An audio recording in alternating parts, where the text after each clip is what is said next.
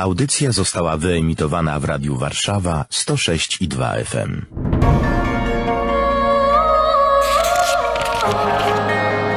Księga. Księga. Księga. Niedzielne czytania biblijne rozważają ksiądz Łukasz Turek i Paweł Kęska. Niech będzie pochwalony Jezus Chrystus. Na wieki wieków amen. Co zrobić, żeby żyć wiecznie, czyli żeby przejść z tego życia do następnego w dobrej kondycji, czyli znaleźć się po dobrej stronie. Życie wieczne już tutaj się rozpoczęło. My już mamy życie wieczne do momentu Chrztu Świętego. Już żyjemy życiem wiecznym. I to na dodatek żyjemy życiem wiecznym w niebie, ponieważ zostaliśmy zanurzeni w mękę, śmierć i zmartwychwstanie Pana Jezusa i razem z Nim wyniesieni do nieba z całą tą Jego ofiarą i tam już jest dla nas przygotowywane miejsce i tam... Ale nie dla wszystkich. No miejsce jest przygotowywane dla wszystkich, to zdecydowanie, natomiast nie wszyscy wezmą je w posiadanie. To wiemy też niejako z objawienia Bożego. Ale miejsce jest przygotowane dla wszystkich, więc y, tutaj moja droga do życia wiecznego się y, rozpoczęła w czasie Chrztu Świętego i będzie trwała do takiego momentu spełnienia, w którym już nic mi nie będzie w tym życiu wiecznym przeszkadzało. I dziś właśnie będziemy rozważali ten temat. Jak być zbawionym? O tym będzie mówił Jezus w Ewangelii. I o tym też mówi pierwsze czytanie z drugiej księgi Machabejskiej, rozdział siódmy, wersy od pierwszego do drugiego i od dziewiątego do czternastego.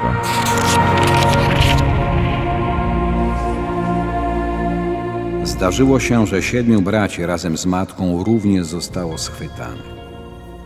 Bito ich biczami i rzemieniami, gdyż król chciał ich zmusić, aby skosztowali wieprzowiny zakazanej przez prawo. Jeden z nich, przemawiając w imieniu wszystkich, tak powiedział: O co pragniesz zapytać i czego dowiedzieć się od nas? Jesteśmy bowiem gotowi raczej zginąć, aniżeli przekroczyć ojczyste prawo. Drugi zaś brat w chwili, gdy oddawał ostatnie tchnienie, powiedział: Ty, zbrodniarzu, odbierasz nam to obecne życie. Król świata jednak nas, którzy umieramy za jego prawo, wskrzesi i ożywi do życia wiecznego. Po nim był męczony trzeci. Na żądanie natychmiast wysunął język, a ręce wyciągnął bez obawy i mężnie powiedział: Z nieba je otrzymałem, ale dla jego praw nimi gardzę. A spodziewam się, że od niego ponownie je otrzymam. Nawet sam król i całe jego otoczenie zdumiewało się odwagą młodzieńca, jak za nic miał cierpienia. Gdy ten już zakończył życie, takim samym katuszom poddano czwartego. Konając, tak powiedział: Lepiej jest nam, którzy giniemy z ludzkich rąk, a którzy w Bogu pokładamy nadzieję, że znów przez Niego będziemy wskrzeszeni. Dla Ciebie bowiem nie ma wskrzeszenia do życia.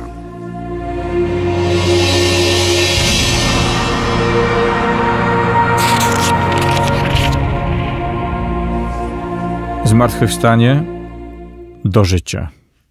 Czyli może być też inne, do śmierci. Tak, Pismo Święte nam mówi, że jest śmierć pierwsza i śmierć druga. Śmierć pierwsza, która dotyczy ciała, jest związana jest z zakończeniem tej naszej pielgrzymki doczesnej. I ona, Pismo Święte nam ciągle nam to pokazuje, że to nie jest problem. Że to nie jest problem, to jest konieczność, to jest nieuniknione.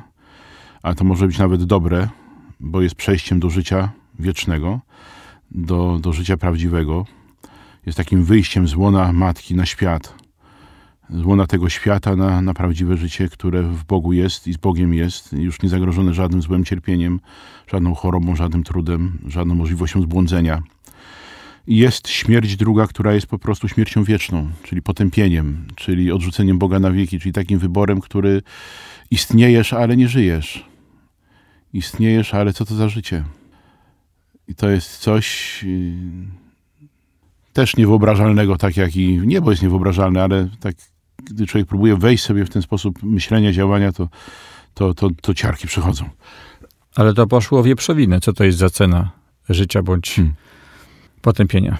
Czy nie poszło o wieprzowinę, no, poszło wierność Panu Bogu, poszło o relację z Panem Bogiem, o to, czy Bóg jest dla mnie ważny, najważniejszy, jedyny w swoim rodzaju, ten, któremu zaufałem, ten, którego miłości doświadczyłem, ten, który mnie do, do, tej pory mnie doprowadził i obiecuje, że mnie będzie prowadził dalej, czy też mu nie wierzę i odwracam się od niego, od jego praw, od jego nakazów, nim gardzę. To jest tak naprawdę nie chodziło o wieprzowinę, tylko chodziło o to, żeby się wyprzeć Boga, wyprzeć się swojej wiary, swojej relacji z Bogiem, swojej miłości do Boga i tym samym odrzucić też miłość Pana Boga do siebie, tak? Siebie człowieka przez Niego wybranego. Pamiętajmy, że Izraelici bardzo mocno mieli zakorzenione w swoim y, sercu i umyśle to przekonanie, tą świadomość, że Bóg ich wybrał. Bóg ich wybrał. Być może my mamy w mniejszym stopniu to zakorzenione w sobie, ale oni, oni się z tego chl- szczycili, chlubili się tym, być może do przesady, za bardzo. Być może tak mocno wbiło ich to w pychę, że, no, że nie spełnili pokładanych w nim nadziei, które Pan Bóg złożył, prawda, dając im ten dar wybraństwa, żeby się nim podzielili z innymi.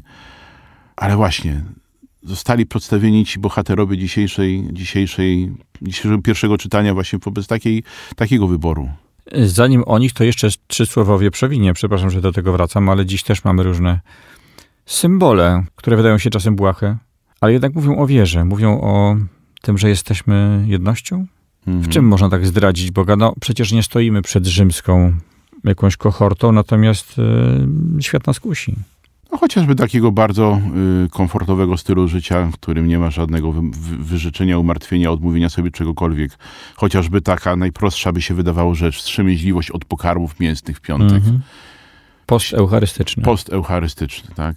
Y, ścisły post w środę popielcową i Wielki Piątek. No to są rzeczy takie, powiedział, wydają się być bardzo proste, natomiast y, świat nas kusi, żeby się tym zupełnie już nie przejmować. Inną rzeczywistością to jest na przykład sakrament pokuty i pojednania, to jest Eucharystia, to jest modlitwa. Wszystko, co dotyczy naszej relacji z Panem Bogiem, jest poddawane jakiejś pokusie, żeby z tego zrezygnować, żeby odpuścić to sobie, ponieważ i tak się nic nie stanie. Przecież to żaden problem, jeżeli ty do kościoła nie pójdziesz. Przecież możesz Pana Boga czcić na wiele innych sposobów. Nie musisz iść do spowiedzi. Po co masz iść do spowiedzi? Będziesz się spowiadał przed księdzem, który jest gorszy niż ty. Po co będziesz swoje grzechy mu wypowiadał? Możesz się wyspowiadać bezpośrednio Panu Bogu, porozmawiasz z nim i wszystko będzie tak samo i tak samo będzie mhm. dobrze. Myślę, że to jest coś z tego. Zjesz wieprzowinę i nie zginiesz. Tak jest. I wszystko, i nic się nie dzieje. Cegła ci na głowę nie spadnie, trzęsienia ziemi nie będzie, będziesz żył dalej. Tylko, że z kim? Będziesz żył aż do śmierci. Aż do śmierci. Mhm. A co potem? Lubię taki przykład z życia księdza Jerzego Popiełuszki, kiedy nikomu nieznany Alek lat 19 chyba był w wojsku komunistycznym, specjalnym dla kleryków i tam był zakaz praktyk religijnych i nie mógł się publicznie modlić. Natomiast robił to, bo uważał, że to jest słuszne i nie ma prawa mu nikt tego zabronić. Ci, którzy modlili się z nim i on, otrzymywali poważne kary.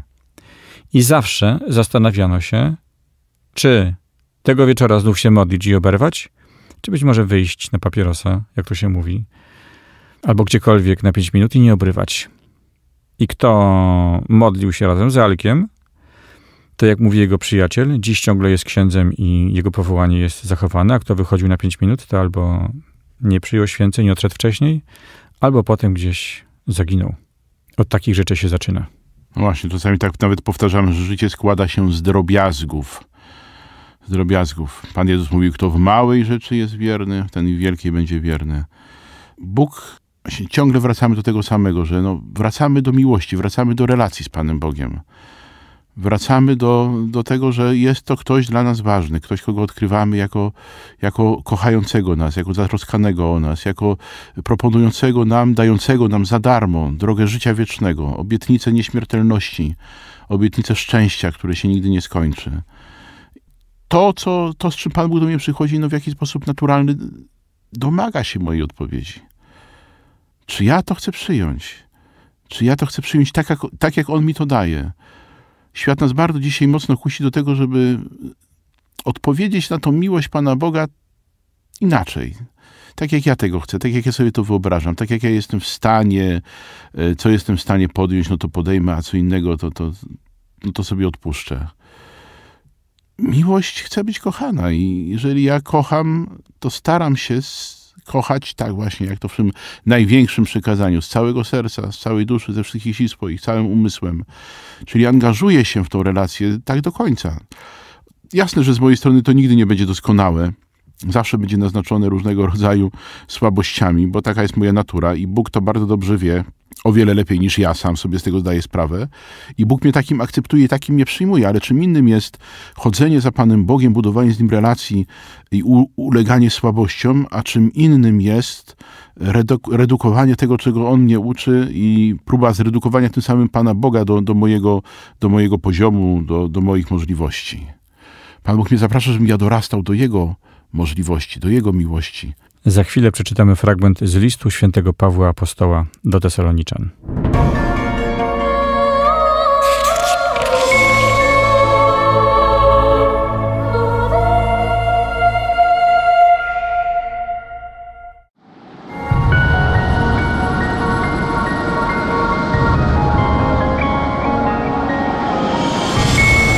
Czytanie z drugiego listu świętego Pawła Apostoła do Tesaloniczan. Od rozdziału drugiego, wersu 16 do rozdziału trzeciego, wersu 5.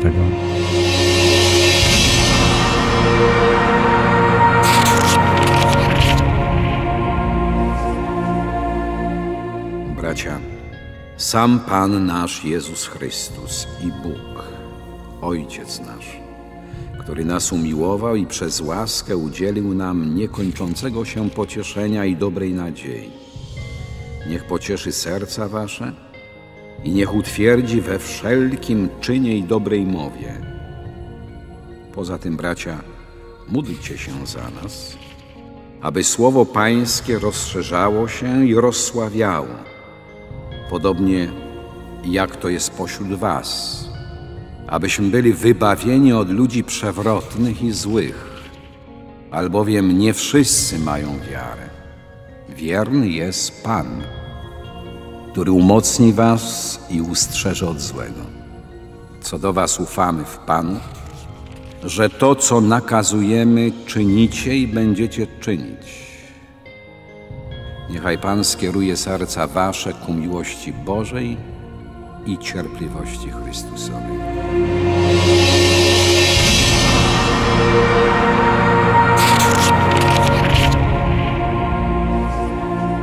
Sam Pan nasz Jezus Chrystus i Bóg Ojciec nasz udzielił nam wiecznego pocieszenia i dobrej nadziei. Co to jest wieczne pocieszenie? Ja sobie tak wyobrażam, że jak ktoś jest zmartwiony, to podchodzi drugi, klepie go po ramieniu i tak go pociesza, żeby ten się poczuł lepiej. I tu Bóg przychodzi i nas tak pociesza raz, a dobrze. Hmm. Tak, to, to takie nasze ludzkie pocieszenie jest pocieszeniem doczesnym, e, takim tymczasowym, takim na chwilę, a potem przyjdzie znowu jakieś zmartwienie, strapienie. Natomiast Pan Bóg ma nas tak pocieszyć, taki zamiar ma nas tak pocieszyć i już tak naprawdę przez Jezusa już nas pocieszył, objawiając nam Ojca i plany, które wobec nas Bóg ma, e, że to pocieszenie już nigdy się nie skończy. Że będę w tej, w tej pociesze wiecznie trwał, że będę spokojny, wolny od wszelkich udręczeń, niepewności, zmartwień, smutków, jakichś trosk tego świata, bo tam już jest wieczność wolna od tego wszystkiego. Pocieszenie to jest takie jakby cieszenie się po czymś. Tak mi się wydaje, że coś się stało, a ja się i tak potem w sumie cieszę, więc po tym życiu chętnie bym się cieszył. E, w sensie pocieszenia. I już tak naprawdę na dobre. No Bóg tego chce, a tutaj Paweł wręcz mówi, że modli się, prosi o to. Niech pocieszy serce wasze i utwierdzi w każdym działaniu i dobrej mowie. Niech was utwierdzi, tak, w działaniu i mowie, która zmierza do tego, żeby w tej pociesze mieć swój udział to działanie Pana Boga nie jest zarezerwowane, prawda, na przyszłość, ani też nie dokonało się kiedyś tam i, e, i, i, i, i nic dalej się nie dzieje. Tak naprawdę w momencie, kiedy Pan Jezus nas odkupił, e, kiedy nas zbawił, no to tak naprawdę w momencie, kiedy Pan Jezus nas odkupił i rozpoczęło się nasze zbawienie, to Jezus nam nieustannie w tej drodze towarzyszy i współdziała z nami we wszystkim dla naszego dobra, o czym święty Paweł w innym miejscu powiedzie, powiedział i napisał i co z nami też zostało. Że to jest naprawdę relacja, która trwa i która dotyczy konkretów naszego życia. Że Bóg w tych konkretach jest obecny i że Bóg w tych konkretach działa skutecznie, e, utwierdzając we mnie to, co dobre, e, motywując mnie do tego, żebym odrzucił to, co złe i żebym śmiało podążał za tym, czego On mnie uczył e, i, i żyjąc tym, też innym o tym mówił, dawał świadectwo, głosił, żebym utwierdzał innych w tej drodze, w której ja jestem sam utwierdzany. Czyli nie jest tak, że on tak mnie pocieszy i ja taki sam sobie zostanę pocieszony na wieczność lekko szczęśliwy, natomiast biorę się do roboty i idę naprzód. Zdecydowanie, Pan Bóg nie daje nam darów jakichkolwiek, by nam nie dawał dla nas samych, żebyśmy się nimi obłożyli ze wszystkich stron y, i w takim miękkim, uwitym sobie gniazdku spędzali już czas tutaj na ziemi. Pocieszeni. I, tak, pocieszeni, dumni siebie i szczęśliwi, bo to już przerabialiśmy w historii zbawienia w Starym Testamencie, że oni tak się pocieszyli, prawda, tym, że Pan Bóg ich wybrał, że nic z tym nie zrobili. No a Pan Jezus, y, kiedy nas pociesza, to mówi, idźcie na cały świat idźcie na cały świat i innym o tej pociesze mówcie i innych pocieszajcie, i innych przyprowadzajcie do mnie, żebym ja ich pocieszył. A im bardziej inni będą pocieszeni, tym, tym wy będziecie się bardziej cieszyli. Będziecie szczęśliwi, ponieważ bierzecie udział w moim dziele y, i przykładacie rękę do pługa y, i orzecie tą ziemię tego świata po to, żeby ona wydawała plon najlepszy, przyjmując ziarno słowa, które ja wam daję.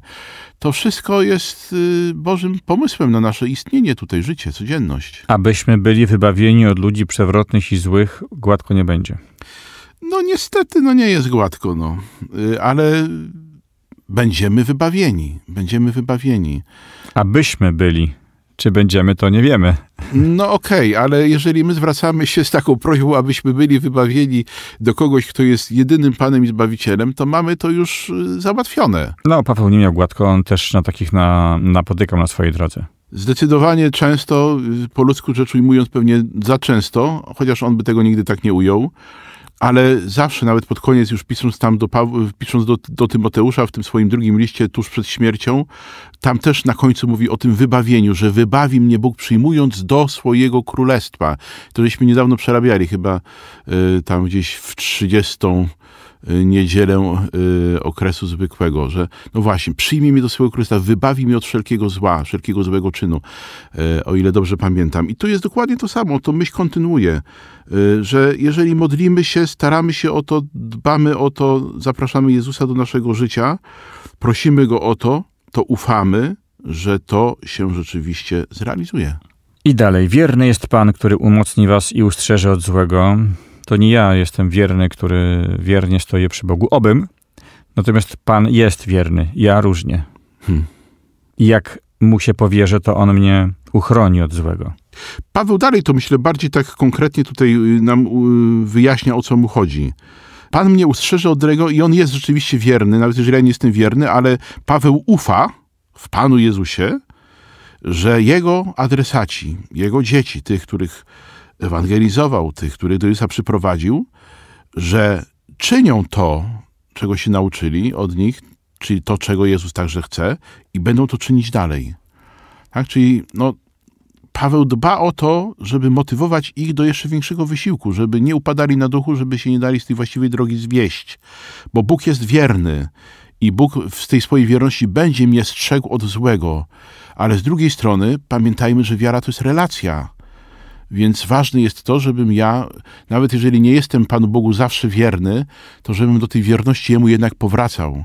Właśnie chociażby przez sakramenty, przez spowiedź, przez nawrócenie, które jest nieustannym, nieustanną moją drogą do świętości, nawracanie się.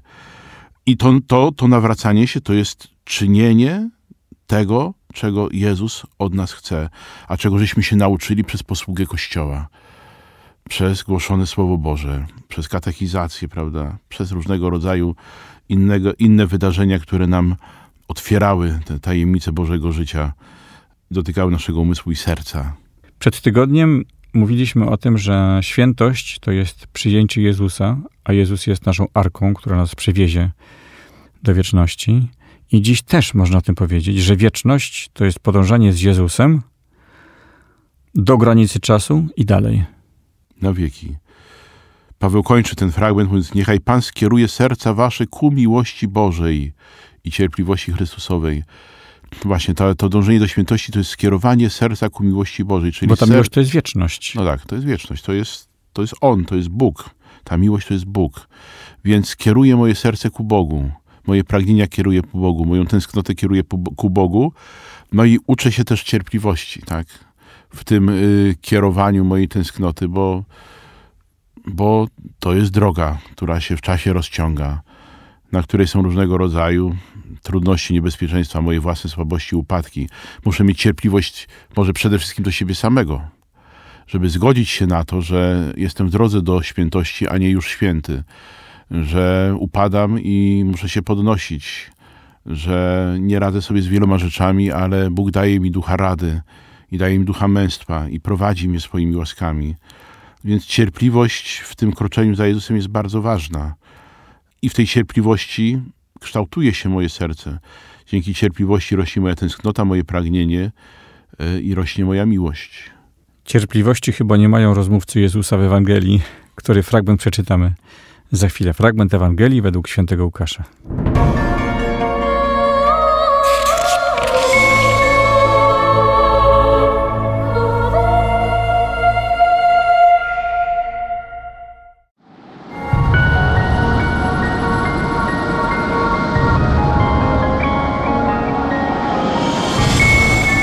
Słowa Ewangelii według świętego Łukasza, rozdział 20, wersy od 27 do 38.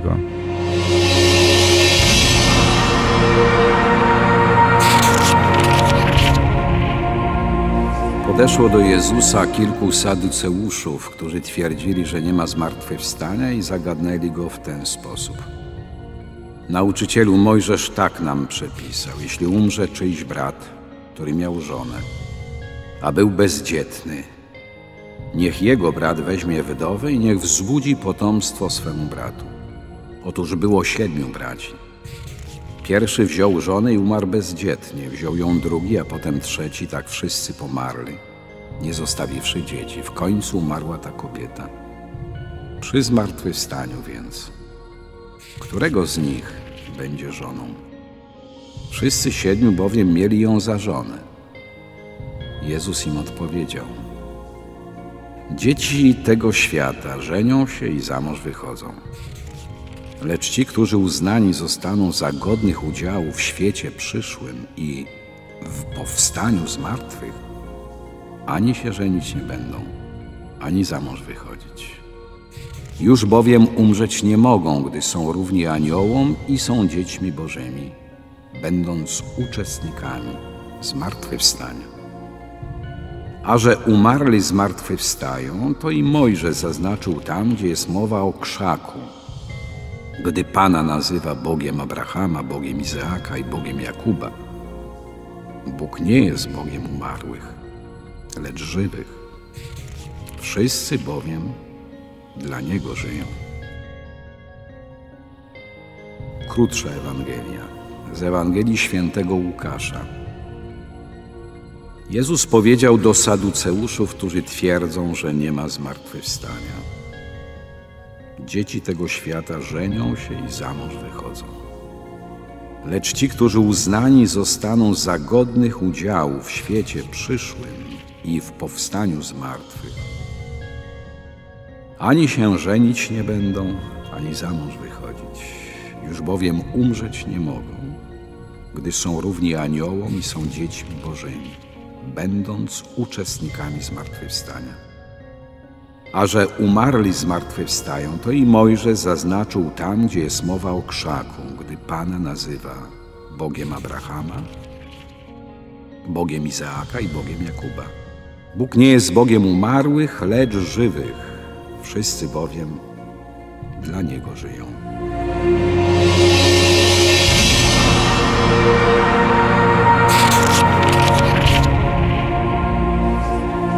Bóg nie jest Bogiem umarłych, lecz żywych. Wszyscy bowiem dla Niego żyją.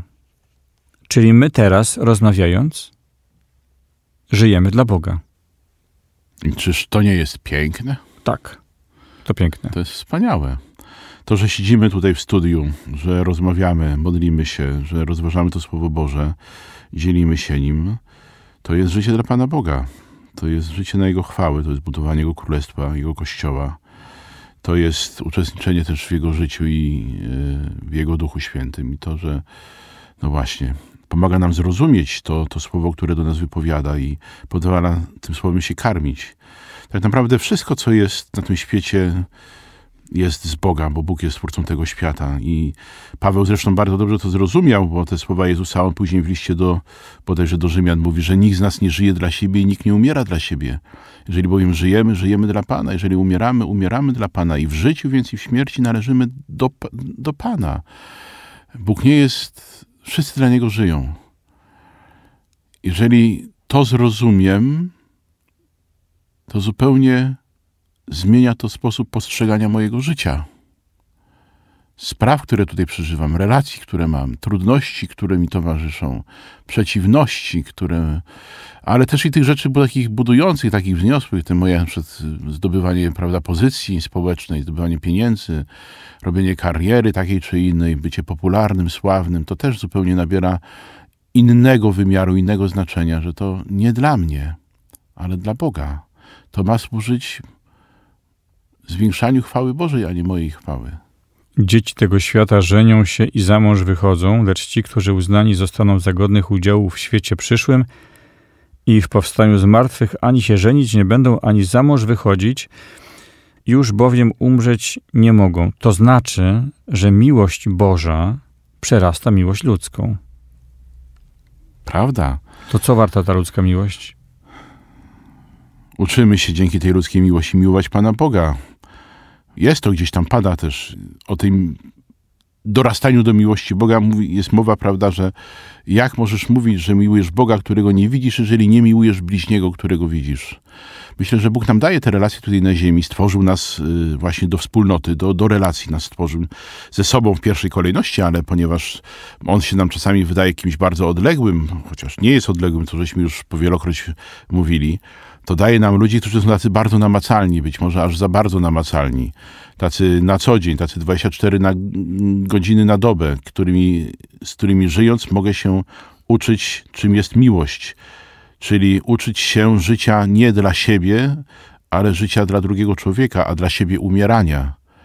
E, po to, żeby ten drugi człowiek miał lepiej, żebym się uczył być darem, e, uczył się wychodzić z egoizmu, egocentryzmu, uczył się wychodzić z tego, co mi się należy, z tych moich różnych oczekiwań, y, mniej lub bardziej słusznych, ale właśnie czynić z tego wszystkiego ofiarę dla tego, którego kocham, y, dla drugiego człowieka, dla mojej żony, dla mojego męża, dla moich dzieci, dla moich rodziców, y, dla innych bliźnich moich, którzy może nie są mi aż tak bardzo bliscy, ale odkrywam, uczę się w nich też odkrywać Pana Boga. No właśnie przez odkrywając Pana Boga w tym drugim człowieku, uczę się żyć dla Niego. Uświadamiam sobie, że próbuję żyć miłością, staram się żyć miłością, żeby w jakiś sposób odpowiedzieć na tą miłość, którą On mnie obdarował. No właśnie, jak tu się czyta to czytanie, na samym początku ten skomplikowany wywód saduceuszy to takie kalambury, którymi oni próbują Jezusa podejść, natomiast e, w tych kalamburach mówią o życiu człowieka i o miłości ludzkiej, sprowadzając ją do jakiegoś przepraszam, chorego równania, którym chcą kogoś wykpić. Być może my też czasem tak postępujemy, traktując przedmiotowo niektóre bardzo poważne sprawy. Życie jest bardzo realne, życie jest bardzo, można powiedzieć, twarde. Albo gra się o miłość, albo nie. Albo żyjesz, albo toniesz. No, a my jesteśmy bardzo wrażliwi bardzo delikatni. Pomimo wszystko, że próbujemy pokazywać gruboskórnych, to jednak jesteśmy wrażliwi, spragnieni miłości i chcemy tej miłości doświadczyć. I bardzo często jest tak, że rzeczywiście to nasze pragnienie miłości tu w świecie jest wykorzystywane w, w taki haniebny sposób. I jest uprzedmiotowione i bardzo często wiele osób szukając miłości, no myślę, że jesteśmy tego świadkami na co dzień, prawda, we wszystkich przekazach medialnych, mediów społecznościowych i różnych. Ludzie szukając miłości wchodzą w takie przestrzenie e, udręczenia, zniewolenia, krzywdy, cierpienia, wykorzystania, że, że no, że, że, że aż przykro to czytać, przykro na to patrzeć, przykro tego słuchać. Ale, ale właśnie, gdzieś w tym wszystkim jest tęsknota za prawdziwą miłością, za Bogiem, za źródłem życia. Tak bardzo ważne jest to, żebyśmy mówili innym, mówili innym o Bogu, jako tym, w którym możesz znaleźć odpowiedź na Twoje tęsknoty, na Twoje pragnienia, pragnienie miłości. Na końcu tej Ewangelii Pan Jezus sprowadza saduceuszy, czyli graczy, tak myślę, do parteru, wskazując na to, jak realne są relacje ludzi z Bogiem. To one właśnie wkraczają w prawdziwą wieczność, bo Bóg jest Bogiem Abrahama, Bogiem Izaaka i Bogiem Jakuba, czyli nie umarłych, ale żywych. Jest Bogiem moim, jest Bogiem Twoim i wszystkich innych, którzy chodzą i chodzili po tej ziemi. Tak, jest Bogiem Twoim, nawet jeżeli byłbyś w sytuacji tej kobiety, która miała tych siedmiu mężów, albo w sytuacji tych mężów, którzy, prawda, nie mogli posiadać potomstwa, spłodzić potomstwa swojego własnego, ani tym bardziej swojemu bratu. Czułbyś się nikim czy pionkiem. Dokładnie. Kimś takim bezwartościowym, kimś, kto niczego w życiu nie osiągnął, do niczego nie doszedł. Yy, jest przez innych pogardzany, obśmiewany, wykorzystywany i tak dalej. No, Bóg jest Twoim Bogiem. Bóg jest Twoim Bogiem. Jest Bogiem z Tobą, jest Bogiem Emmanuelem. I tak jak w historii tych trzech, Abrahama, Izaaka, Jakuba, Bóg był i obecny, i jest obecny, bo to jest już teraz ich teraźniejszość i wieczność. Tak samo Bóg jest obecny w Twoim życiu. I aby Ciebie przeprowadzić, wyprowadzić Cię z tego Ur Chaldejskiego do ziemi obiecanej, wyprowadzić Ciebie, prawda, z, z, różnych rzeczywistości grzechów, w których tkwisz, nieszczęść, po to, żeby Cię uczynić swoim przyjacielem i dać Ci siebie poznać takim, jakim On jest. Żebyś Ty mógł siebie poznać, mogła siebie poznać i odkryć prawdziwe swoje oblicze, swoją godność, swoją wartość właśnie w oczach Pana Boga, w relacji z Jezusem. Więc Bóg jest Bogiem żyjących i chce, żeby to Jego życie było coraz bardziej Twoim udziałem, moim udziałem, udziałem każdego z nas. Czy to przypadek, że saduceusze, czyli gracze, w jakimś sensie nie wierzą w wieczność? Trudno powiedzieć i ocenić ich rzeczywistość. To byli ludzie najbogatsi z bogatych, rody arcykapłańskie, kapłańskie, posiadające pełnię władzy tutaj na ziemi. Być może tak bardzo byli tą władzą zachłyśnięci, że w ogóle nie brali pod uwagę czegokolwiek y, więcej, że może coś być dalej. Tak mocno byli za, zainteresowani ustawieniem swoich wpływów y, w doczesności, że wieczność ich nie interesowała co jest swoistym dramatem człowieka. I być może w lepszej sytuacji była żona, która miała siedmiu mężów. Bo ona w tej swoim nieszczęściu zawsze była bardziej otwarta na Boga i na to, że kiedyś to wszystko zostanie jej wynagrodzone, że kiedyś odbierze nagrodę, bo nagrody na ziemi nie widać. A Bóg obiecał. Za uwagę dziękuję Państwu. Ksiądz Łukasz Turek i Paweł Kliński. Księga.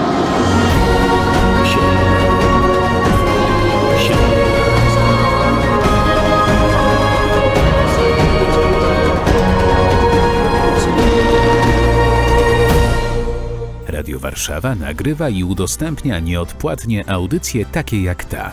Dzięki wsparciu finansowemu słuchaczy i przyjaciół. Wejdź na www.radiowarszawa.com.pl i wpłać darowiznę. Wzmocnij nasze dobre fale. Dziękuję.